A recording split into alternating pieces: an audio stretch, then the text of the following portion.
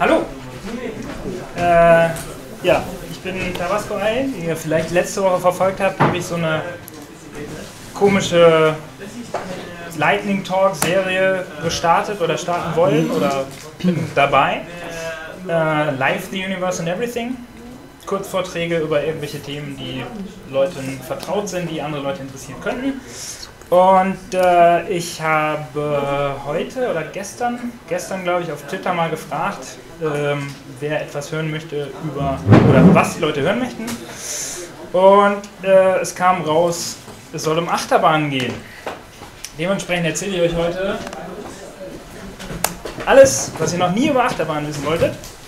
Und es ist auch nur Part 1, weil da kann ich unglaublich viel erzählen was natürlich gelogen ist, weil, äh, wie ich gesagt habe bei dieser Vortragsreihe, ist es nicht unbedingt tiefes Expertenwissen gefragt und äh, so tief ist mein Expertenwissen da nicht. Da gibt es andere Leute. Hallo Sven. Ähm, aber ich kann da trotzdem ein bisschen was zu erzählen. Ja, äh, und ich wollte anfangen mit äh, Sicherungssystemen. Äh, kurze Umfrage. Wer von euch ist schon mal eine Achterbahn gefahren? Äh, von denen, die noch keine gefahren sind, äh, wer hat Angst davor? Keiner. Dann, äh, tschüss, macht's gut. Nein. Ähm, ja, weil diese Sicherungssysteme machen das Achterbahnfahren äh, deutlich sicherer, als manche Menschen das immer glauben, wenn sie irgendwie tierisch Angst davor haben, weil man da ja sterben kann und alles. Ähm, aber wie das in Deutschland so ist, man kennt das, man baut sich in seinem Garten halt äh, so eine Achterbahn. Äh, in den USA geht das, da stört einen da keiner dabei. In Deutschland äh, kommt dann jemand und sagt, äh, äh, mach mal wieder weg. Ähm, ja, wie gesagt, ich wollte einen, einen, Rundgang machen zum Thema Sicherheitssysteme. Dazu machen wir jetzt mal eine virtuelle Achterbahnfahrt. Und zwar fangen wir gleich an mit dem Einstieg. Also man kommt so hin zu so einer Achterbahn, äh, setzt sich da so rein und dann wird man fixiert. Da gibt es halt Rückhaltesysteme, da gibt es verschiedene Arten, da gucken wir uns ein paar Bildchen zu an. Ähm, dann fahren wir quasi aus der Station raus, dazu ist auch eine Interaktion notwendig, dazu gibt es die Ride Operators, Ride Ops. Ähm, danach fahren wir auf den Lifthill, das ist ne, der Anstieg, der Spannungsbogenaufbau sozusagen. Auch da gibt es ein Sicherungssystem, die Rückrollsicherung. Dann kommt der First Drop. Das ist quasi unser Moment des Fallenlassens, weil da gibt es keine Sicherung. Aber äh, da erkläre ich vielleicht auch noch was zu. Dann kommt die allgemeine Streckenbeschreibung. Da habe ich jetzt also Fahrfiguren oder so ein Zeug, darum soll es hier heute nicht gehen, äh, sondern eben was auf der Strecke für eure Sicherheit sorgt, wenn ihr in so einer Achterbahn sitzt. Äh, und zum Schluss kommt dann die Schlussbremse, die quasi so den Abschluss des Vortrags bildet. Und dann steigen wir alle aus und äh, steigen direkt wieder ein, weil wir nochmal wollen. So, also Einstieg. Man kennt das, man kommt so hin zu so einer Bahn, die steht dann so da und wartet auf einen, und dann setzt man sich rein. Und meistens bei so einfacheren Bahnen zieht man dann so einen Bügel an sich ran. Ähm, da gibt es auch, also von diesen, von diesen Bügelformen, das ist bei so den kleineren Bahnen, sagen wir mal, ohne großartige Inversionen, also über Kopfelemente ist das üblich, dass man nur so einen Bügel hat mit dem man fixiert wird. Gibt es auch irgendwie andere Bauformen. Ähm, alle möglichen Hersteller haben sich da irgendwelche schlauen Sachen ausgedacht. Jetzt ist die Frage, wie funktioniert so ein Ding? Das ist quasi genau wie so eine Handschelle. Also man zieht den Bügel zu sich ran und dann geht so eine, so, so, so eine Raste zu äh, und sorgt dafür, dass das auch nicht mehr aufgehen kann. Physisch, ähnlich wie eben so eine Handschelle. Ähm, die einzige Möglichkeit, wie das wieder aufgeht, ist quasi dann meistens an der Seite oder unter dem Zug äh, ein Hebel, der diese Raste wieder lösen kann. Und diese Vorrichtung, nämlich das wird meistens über eine Schiene gemacht, die dann unter dem Zug hochfährt und diesen Hebel drückt, die gibt es nur in der Station. Das heißt, der Bügel kann nur in der Station aufgehen oder wenn irgendwie der Zug auf der Strecke hängen bleibt oder so, manuell durch äh, jemanden, der dann zu euch kommt. Aber ähm, Sonst ist das technisch nicht möglich, sozusagen, dass, dass diese Raster aufgeht. Äh, und in Deutschland, wie gesagt, gibt es diesen lustigen TÜV, der auch dafür sorgt, dass solche Systeme auch redundant ausgebaut werden müssen. Haben die dann äh, Doppellock? Ich hab da, bitte? Haben die auch Doppellock? Also wenn du mit Handstellen vergleichst, dass sie quasi auch während der Fahrt nicht weiter zugehen können? Äh, nee.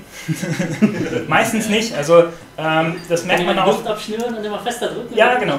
genau. Das merkt man auch sehr schön, wenn man dann doch eine Bahn fährt, die sagen wir mal starke G-Kräfte hat. Äh, dass wenn man den Bügel in der Station nicht so weit zumacht, weil man denkt, oh, ich will so ein bisschen Beinfreiheit oder Beckenfreiheit haben, dann kommt die erste, erste Stelle, wo G-Kräfte sind und dann macht es. Naja. Äh, deswegen ist es schlau, den Bügel halt so, dass er sitzt, anzulegen in der Station. Äh, aber wie gesagt, diese, diese Redundanz ist ein Thema. Der TÜV, ich kenne die genauen Vorgaben nicht, aber ich weiß, dass in Deutschland, äh, ich meine, so ziemlich alle Systeme doppelt sein müssen und für bestimmte Bahnen auch dreifach gesichert. Ähm, meistens machen die Hersteller dann auch verschiedene Systeme. Da kann man jetzt noch ein paar Bilder, ich habe noch so ein paar andere Bügelsysteme. Da kommt zum Beispiel der Bügel so von der Seite und in diesem fetten Zylinder ist quasi die äh, die Rastung drin. Ähm, wir waren bei diesem wunderschönen Zug, der in einem tollen Freizeitpark im Norden äh, untergebracht ist. Ähm, genau, dann gibt es halt noch so das, was man klassisch kennt bei etwas größeren Achterbahnen, äh, nämlich halt Schulterbügel, die man eben so von oben runterzieht und da sieht man auch sehr schön, ähm, hier sind so Zylinder also das sind äh, ja Pneumatik oder Hydraulik, das kommt auf die, auf die Art an, würde ich mal sagen, wie der Hersteller das baut. Jedenfalls, man, man zieht den Bügel runter und äh, drückt dadurch dann eben die, Luft oder das Öl aus dem Zylinder raus und dann ist auch vorbei, dann ist zu. Äh, und auch hier ist wieder halt, dass äh, nur in der Station oder halt mobil auf der Strecke, wenn mal was passiert, die Möglichkeit existiert, äh, da wieder eben den Zylinder zu öffnen und dadurch den Bügel zu öffnen. Und auch da ist halt doppelt ausgelegt, also auf der anderen Seite ist dann halt auch eine, eine, zweite Sicherung, die bei der Bahn, weiß ich jetzt nicht, ob die auf eine andere Art gelöst ist oder ob das einfach ein zweiter Zylinder ist. Äh, was habe ich dann noch? Genau, dann habe ich noch, eine andere, noch ein anderes Bügelsystem, auch über Kopfbügel, ein bisschen bequemer, von einer anderen Firma. Äh, und da sieht man auch ein anderes neues Phänomen, was äh, sich immer weiter durchsetzt, nervigerweise dass man nämlich den Bügel nochmal mit so einem Autogurt sichern soll. Was halt hauptsächlich so ein, naja, ist eher so psychologischer Effekt. So, oh, ich habe hier nochmal so einen Gurt, dann macht das das ja viel sicherer. Äh, weil bringen tut das nicht wirklich was. Äh, ich sehe hier nicht voraus, das ist voll doof. Ja, genau. Äh, das ist dann das, das letzte Bild zum Thema Fixierung und Bügelsicherung. Das ist so die bequemste und schönste die ich bisher gefahren bin. Äh, steht nicht so weit weg von hier, in der Nähe von Freiburg, in einem Freizeitpark. Da kommt quasi diese, dieser schwarze Block über einen rüber und fixiert einen an den Oberschenkeln. Das heißt, man hat keinen, also man, man ist am Oberkörper frei. Also kein mieser Schulterbügel, der einen so einengt und äh, einem irgendwie das Fahrgefühl wegnimmt, sondern äh, ist man schön frei im Fahrtwind und äh, dann eben auch über Kopf. Ja, und auch da sieht man jetzt halt wieder hier an der Seite sehr schön diese Zylinder, die quasi, wenn man den Bügel runterdrückt, eingedrückt werden und dann, das ist auch doppelseitig ausgelegt und bei dem ist, soweit ich weiß, sogar noch eine dritte Sicherung drin, aber wie gesagt, ich bin kein Experte. So, dann kommen wir zur Ausfahrt aus der Station. Dazu sind äh, die Ride-Ops nötig und dann gibt es immer so eine also das ist jetzt eine besonders alte Achterbahn, deswegen sieht man das da so schön. Es gibt immer irgendwelche Sicherheitsknöpfe, Sicherheitsvorrichtungen, die äh, fail-safe sind, in dem Sinne, dass, wenn man, also so Totmann-Knopfmäßig, wenn man loslässt, geht's aus. Ähm, also hier zum Beispiel muss die Dame die ganze Zeit auf diesem äh, Auslöser stehen, damit der, damit der Motor läuft. Und bei größeren Bahnen ist es meistens so, dass man zu mehreren ist in der Station, sonst kann man die Bahn nicht betreiben weil der Haupt-Ride-Off sozusagen am Bedienpult sitzt und eine zweite oder dritte Person dann die Bügel kontrollieren und am anderen Ende der Station einen Knopf gleichzeitig drücken müssen, äh, damit der Zug überhaupt losfahren kann. Also sozusagen die, die Bremse öffnet sich nur, wenn beide gleichzeitig den Knopf drücken und damit bestätigen, ich sehe, dass alles in Ordnung ist von hier aus und der Typ, der nach hinten gelaufen ist und alle Bügel kontrolliert hat, sagt, ich bestätige, dass ich alle Bügel kontrolliert habe und verantwortlich bin, wenn hier Scheiße passiert. Pro. Ähm, ich glaube, ich habe noch ein anderes Bild. Ja, Da weiß ich jetzt nicht genau, ob man irgendwie beide gleichzeitig drücken muss oder wie das genau funktioniert, aber es ist halt so, es gibt immer so Sicherungssysteme in der Station, die vom Menschen bedient werden müssen, um zu bestätigen, jetzt ist alles in Ordnung, jetzt kann die Fahrt losgehen. Dann kommen wir zum spannenden Part, also bei der Fahrt. Das Sicherungssystem ist sehr einfach gestaltet, nämlich der Lifthill. Da wird also der Zug dann eben zum Beispiel über eine Kette oder ein Seil oder über andere Methoden den Berg hochgezogen, um die Energie sozusagen zuzuführen. Ähm, da habe ich auch ein schönes Bild, das ist jetzt, also mal angenommen, wir sind den Lifthill schon hochgefahren und gucken nach hinten raus, weil das ist jetzt eben vom Berg hinunter, äh, aber da sieht man es viel schöner. Also hier links ist die Kette, die läuft quasi nach oben und der Zug hakt sich da ein, wird hochgezogen. Und hier nebendran ist die, die Sicherung, die Rückrollsicherung. Funktioniert auch wieder wie so eine Handscheller. Da ist am, am Zug quasi so ein, so ein Zapfen, der da so entlang pinkt. Und wenn dann die Kette reißen würde, würde der Zug halt ein paar Zentimeter zurückrutschen in eine von diesen Rasten. Es würde dann halt ordentlichen Ruck geben wahrscheinlich, aber der Zug würde stehen bleiben und nicht irgendwie den Berg wieder rückwärts runterrollen und wer weiß was machen. Und diese Rückrollsicherung ist auch das, was man so als typisches Achterbahngeräusch, dieses Rattern, wenn der Zug so den Berg hochfährt. Ähm, und das Witzige ist, dass die Hersteller durchaus in der Lage wären, diese Dinger geräuschlos zu bauen heutzutage. Aber das will man nicht, weil man ja irgendwie diese Assoziation hat, irgendwie dieses Knattergeräusch muss eine Achterbahn machen, wenn sie den Berg hochfährt. Und, äh, ja, das kann auch in Extreme getrieben werden. Also wer mal in Paris in so einem großen Freizeitpark von so einem Trickfilmhersteller ist, äh, da gibt es eine Bahn, die ist so laut, dass ich mir da auf den Lifthills die Ohren zuhalte. Das ist nämlich echt unangenehm. Ähm, ja, genau. Und dann sind wir quasi am Ende des Lifthills angekommen. Die Kette geht zu Ende, der Zug hakt aus und dann kommt der First Drop. Und kurz vor dem First Drop hat man nochmal sozusagen die letzte Chance, sich nochmal umzugucken zu seinen Freunden, nochmal Abschied zu winken. Und dann ist man an der Kippe und dann wird man quasi an die Mutter Gravitation übergeben. Der Zug beschleunigt und dann geht es abwärts. Mehr passiert da eigentlich nicht. also, wenn, also ab, ab diesem Moment ist quasi nichts mehr mit Bremsen, dann ist halt, also wenn da jetzt noch jemand sagt, oh halt, stopp, sorry, musste durch. Ähm, genau, dann fährt man auf die Strecke. Wie gesagt, ich will jetzt nicht auf irgendwie Elemente eingehen, das können wir gerne ein andermal machen, wenn euch das interessiert, was es da so alles gibt. Äh, auf der Strecke ist das so, dass der Zug äh, gehalten wird von einem, also bei modernen Achterbahn sieht das Fahrwerk so aus. Ähm, das sind hier drei Rollen. Obendrauf sind die Laufräder, die quasi auf der Schiene laufen. Links und rechts sind die Side Friction Wheels, die sozusagen den Zug auf der Strecke halten, also wenn er Kurven fährt. Oh, vielen Dank.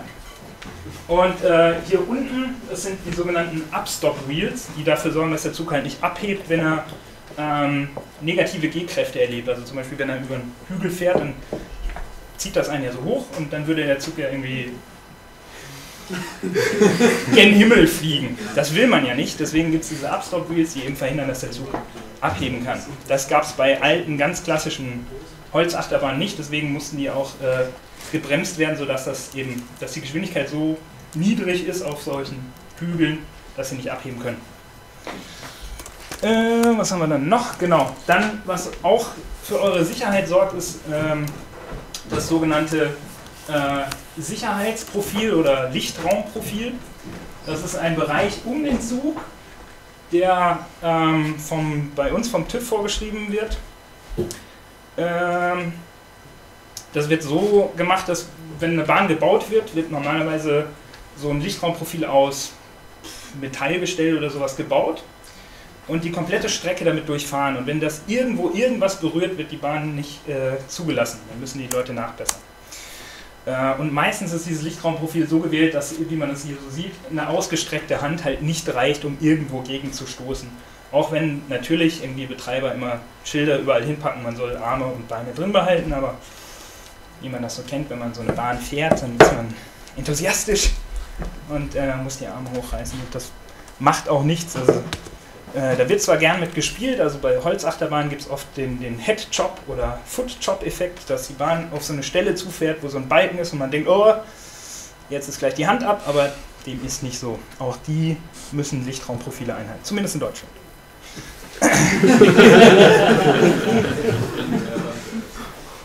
ähm, dann ein weiteres Element, was äh, für die Sicherheit sorgt, sind, äh, ist das Blocksystem. Das haben sich die Hersteller so ein bisschen beim normalen Zugverkehr abgeguckt. Da gibt es das auch. Nämlich, dass man die Strecke einteilt in Blöcke und per Definition darf halt pro Block immer nur ein Zug unterwegs sein. Klar, äh, die Unterteilung macht man so, dass man eben Blockbremsen hat. Und äh, wenn ein Zug in einem Block vor einer Bremse noch unterwegs ist, wird man an dieser Bremse eben angehalten, sodass man nicht in den Block einfahren kann, bis der Zug vor einem weg ist. Sowas wird dann mit äh, Sensorik festgestellt. Da ist äh, auch eine Firma aus Mannheim Marktführer. Ähm, also wenn ihr mal so Bahnen seht und seht diese türkisen Dinger, das sind äh, deren ähm, Näherungsschalter. Ähm, ich habe glaube ich noch ein anderes Beispiel, ja genau. Äh, an dem Zug sind dann halt immer so Metallstücke, das nennt sich das Bremsschwert, äh, die eben in so Bremsbacken einfahren und die äh, sind halt auch wiederum so rum ausgelegt, dass sie öffnen. Also in der Standardeinstellung sind die zu. Das heißt, wenn irgendwo Strom ausfällt oder so, gehen die alle zu. Sodass dann auch die Bahn in einen sicheren Zustand kommt. Was haben wir noch? Genau, dann habe ich. Ja, das ist noch eine andere Variation von, der, von einer Blockbremse. Hm, genau, dann kommt quasi die Schlussbremse. Da habe ich jetzt, ja, das sieht man so ein bisschen mittelgut. Also der gerade Teil hier unten ist dann halt auch wieder das ist im Prinzip auch nur eine Blockbremse, sozusagen die letzte Blockbremse, die dazu da ist, dass der Zug dort anhalten kann, während in der Station zum Beispiel noch einer B- oder entladen wird. Wenn der dann ausfährt, wird die freigegeben, dann kann der Zug in die Station. Und dann kann man aussteigen und wie das so ist nach so einer Fahrt, da ist man dann happy und möchte gleich nochmal fahren. Und äh, wie gesagt, vertraut den Systemen, die werden von total sicheren äh, Systemen betrieben ja. Und das war's.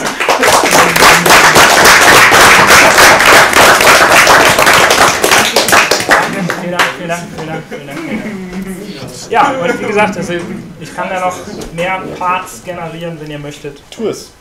Du, ich habe da direkt mal eine Frage. Ja. Und zwar, du bist ja erfahrener Achterbahnfahrer, also erfahrener Erfahren ist jetzt. als Otto Erfahren ist jetzt übertrieben. Also ich weiß nicht, wie viel Bahn ihr schon so gefahren seid. Ich bin jetzt über 150 gefahren. Ja, ich nenne nicht mal 20. äh, ja, nee, es geht mir darum,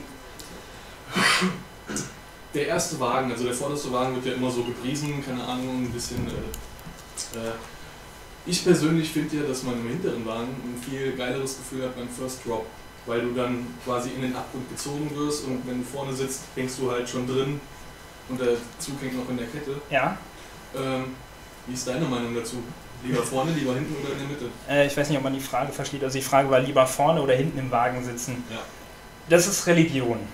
Ja, das habe ich mir gedacht. Also es ist so, dass bei den, bei den meisten, gerade bei modernen großen Achterbahnen gibt es meistens eine separate Anstellschlange für die First ja. Row wo man dann nochmal irgendwie 45 Minuten länger anstehen muss im Durchschnitt, weil natürlich geht es da, ist nur eine Reihe, die Schlange baut sich langsamer ab und so. Ja, es ist nett natürlich in der ersten Reihe zu sitzen. Man hat keinen vor sich, man sieht den Abgrund, man rauscht da so rein. Der, der psychologische Effekt, der, der Kick, das Kitzeln ist natürlich in der ersten Reihe geiler. Aber du hast natürlich auch völlig recht, so in der letzten Reihe, wenn der komplette Zug mit dem Gewicht schon unten ist, dann reißt es sich richtig nach und da gibt es halt, es gibt durchaus Bahnen, die hinten dermaßen geil sind, dass ich die. Es hängt auch von der Bahn ab, ja. Ja, also es, es, hängt sehr von der Bahn ab, wo man sitzen sollte und wie man sitzen sollte, aber es ist, es ist schon eine grobe Regel, dass ganz hinten so Last Row ist schon, ist schon nett. Aber wie gesagt, also First Row sollte man trotzdem immer mal mit Bahn gefahren sein. Also gerade zum Beispiel, wie, die, wie ich beim, beim First Drop gezeigt habe, also quasi äh, äh, äh, große Bilder sind groß, die hier, also wenn du die Bahn, ja, da gibt's halt keine. Die, die musst du First Row fahren. Ja. weil Das ist ja auch kein Zug. also die Besonderheit bei dieser Bahn ist halt auch, dass also da wo die jetzt sind, das ist nicht während der Fahrt fotografiert, sondern der Zug wird genau da angehalten. Ja. Und zwar drei Sekunden lang. Ist das wie, wie so ein Krake? Das ist die Krake, ja. Das ist fast wie Freefall Tower. Das ist wie ein Freefall Tower, weil auch der, der Drop ist quasi senkrecht. Ich glaube, die hat 89 Grad. oder Äh, Gradzahl weiß ich nicht so genau. Also das, das Problem bei sowas, irgendwie Angaben der Hersteller. Ja, klar. Das kommt ja alles so ein bisschen aus dem Schaustellergewerbe, da muss man angeben, damit man überleben kann und deswegen werden so Dinger halt immer völlig übertrieben. Also es ist immer die höchste und schnellste mit dem steilsten Drop und die gefährlichste. Fallen. Noch eine Frage, die Bilder von ähm, den Steuerungen und so. Hast du die einfach aus dem Internet gehabt oder hast du die Bilder wirklich gemacht und wenn, wie bist du da in die entsprechenden Bereiche gekommen? Äh, ja.